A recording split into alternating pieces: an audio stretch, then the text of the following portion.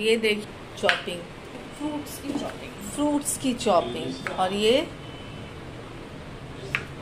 चाकू से.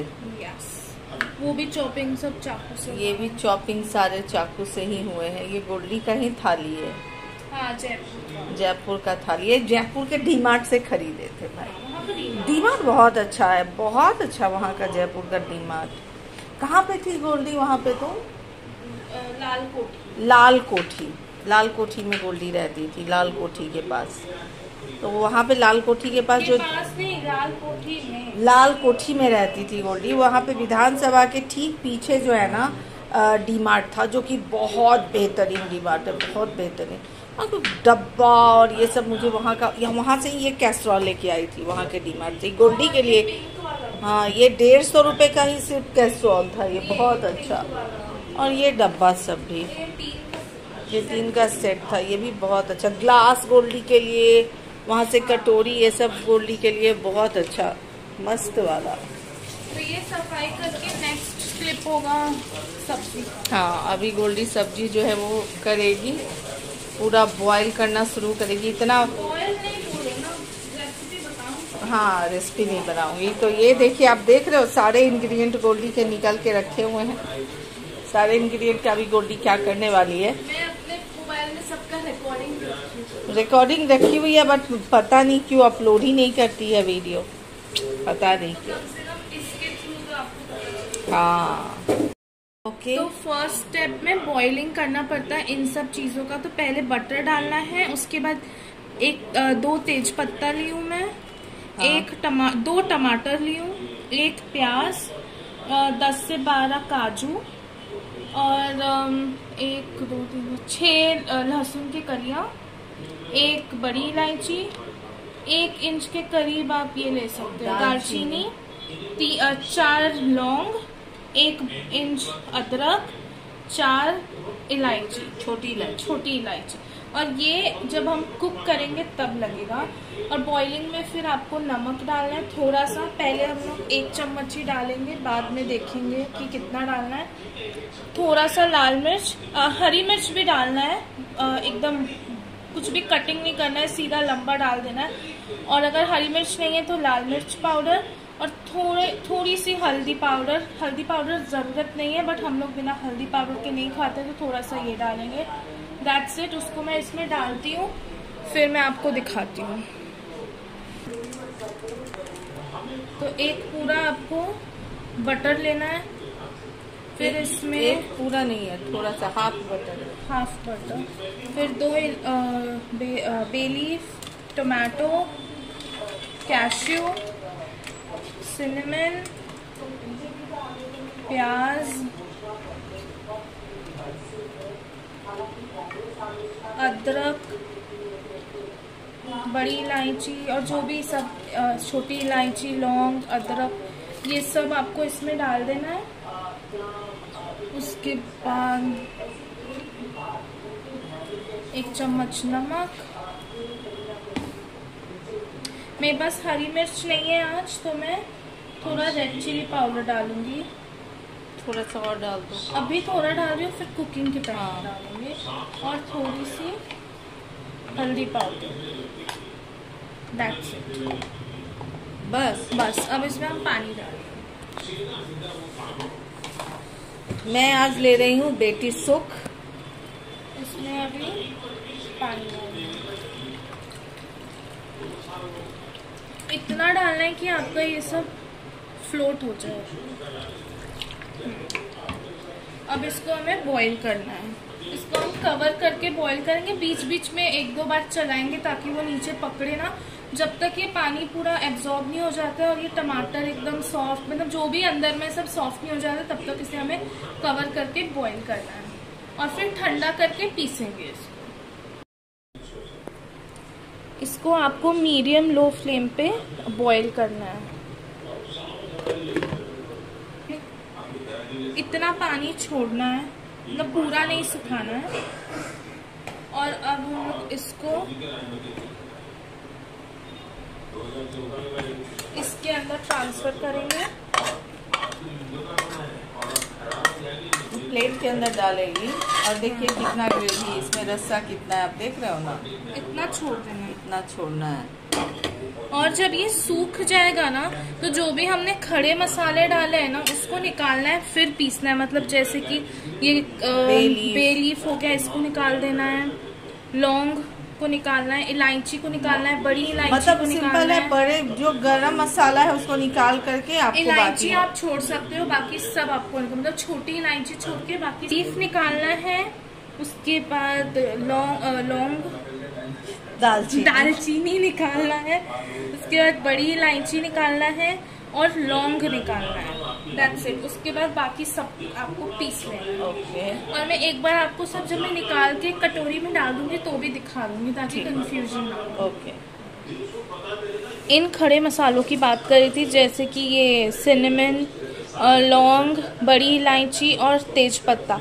इनको आपको निकालना है फिर पीसना है और मम्मा बोलने नहीं देगी फिर आपको पीसना है। अगर आप इन सब के साथ पीसोगे ना तो आपका ग्रेवी काला हो जाएगा। और पनीर मखनी काला नहीं होता, थोड़ा येलोइश होता है तो इसको निकाल के फिर आपको पीसना है। पहले इसको हम ठंडा करेंगे, फिर इसको पीसेंगे।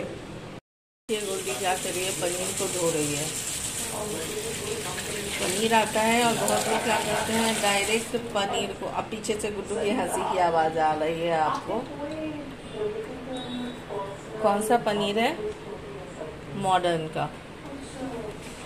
मॉडर्न का मलाई पनीर ओके और इग्नोर कीजिए गीला गीला क्योंकि मम्मा हर चीज़ गीला गीला अच्छा मैं हर चीज़ गीला गीला कर देती हूँ। गोल्डी इसको एक्चुअली चॉपर को अच्छे से वॉश करके रखी थी बट मैं इसके ऊपर टमाटर ममाटर सारा धो धा करके डाल दी। तो अभी इसको हम लोग पीसेस में कट करने से पहले एक कटोरी लेंगे उसके अंदर पानी डालेंगे। और चाहिए? और पानी लगना रुक चाहिए।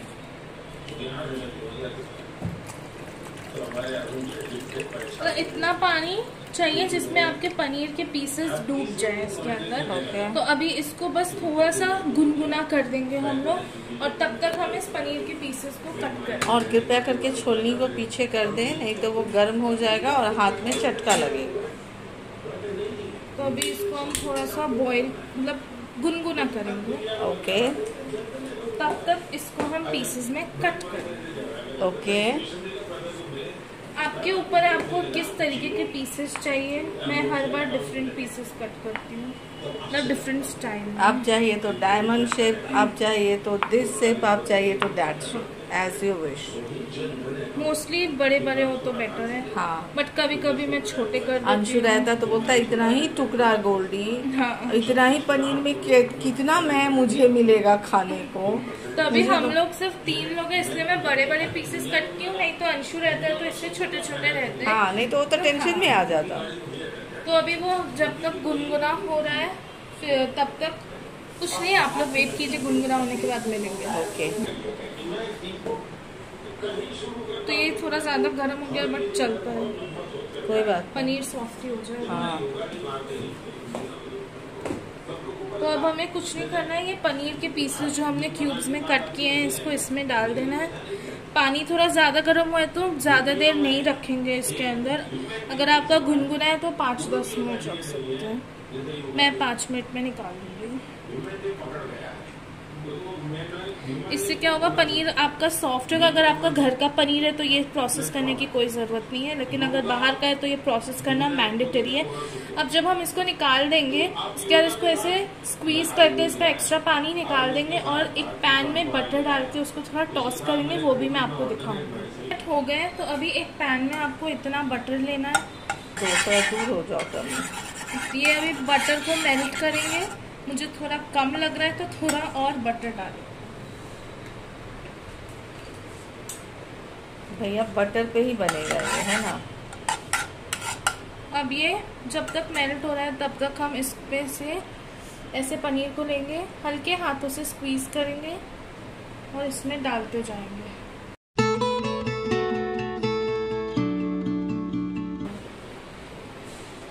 तो अभी ये हो गया, संभल के कीजिएगा क्योंकि पानी गर्म होता है।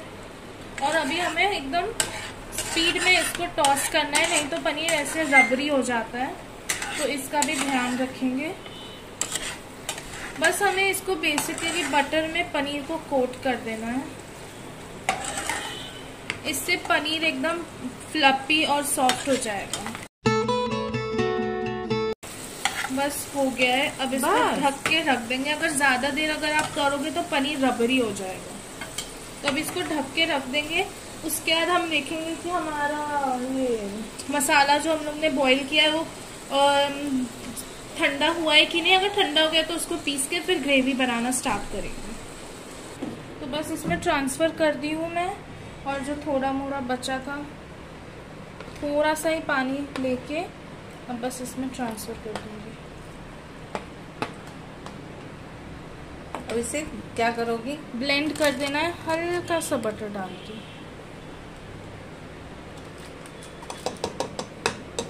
बस। मैं गलती से इसमें डालती हूँ। तभी हम इसको ब्लेंड कर देंगे।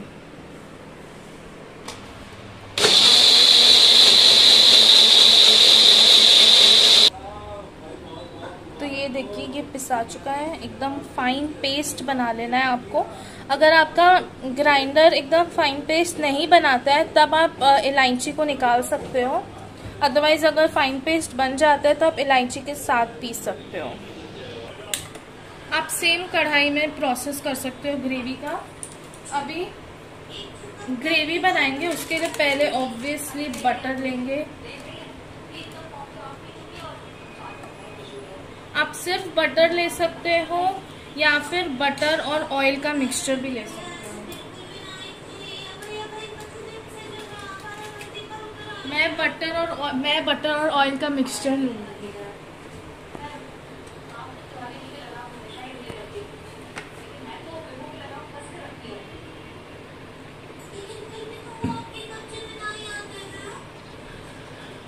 अब बटर को थोड़ा मेल्ट करेंगे।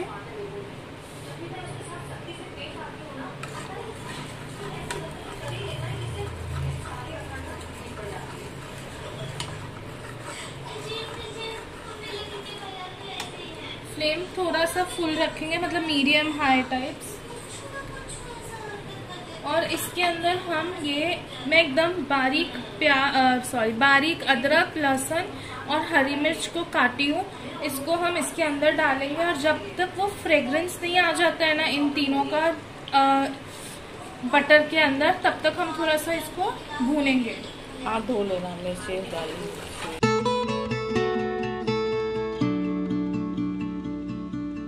अभी जहाँ आपको फ्रेग्रेंस आने लगे उसके बाद आपको गैस को ऑफ़ कर देना है। ये जब थोड़ा नॉर्मल हो जाएगा फिर हम रेड चिली पाउडर डालेंगे जितना आपको, आपके टेस्ट के हिसाब से जितना आप तीखा खाते हो उस हिसाब से आप डाल सकते हैं। फिर थोड़ा सा स्टर करके, फिर बाकी का प्रोसेस बताऊँगी। ये देखिए, इसका कलर ऐसे चेंज हो गया है। और थोड़ा सा नॉर्मल भी हो गया है तो अब हम इसमें डालेंगे रेड चिली पाउडर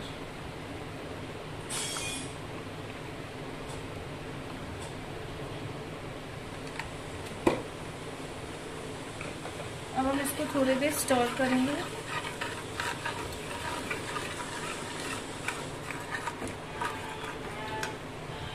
अब जो हम लोग ये पेस्ट बनाए हैं, इसको इसके अंदर डाल देंगे।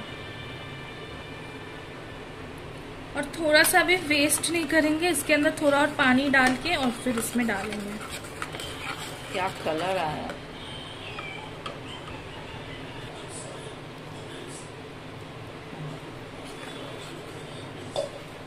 अब इस स्टेज पे हम गैस को ऑन करेंगे।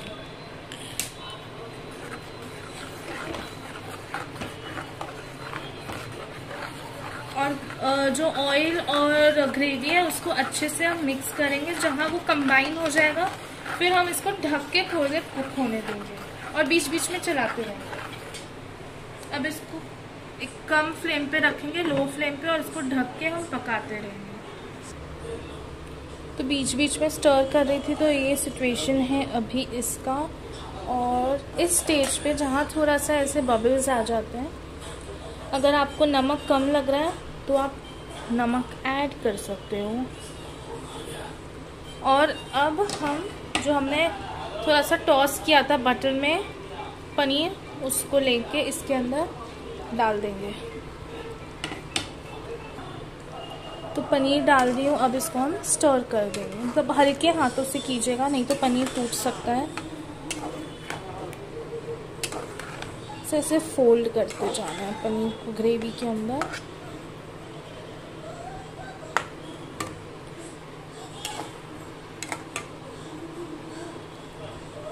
अब इसको हम कुक होने देंगे।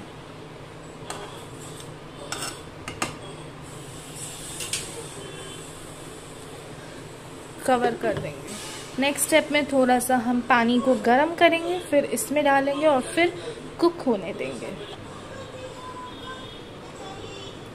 इसी पैन में पानी डालेंगे और गर्म करेंगे।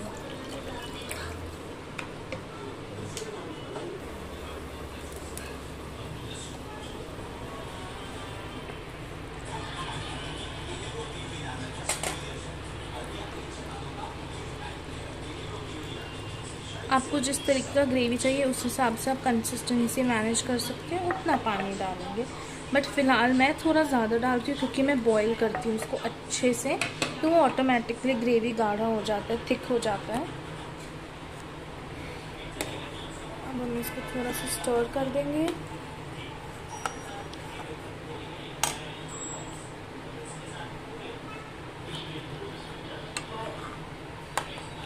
अब इसको कवर करके कुक करें।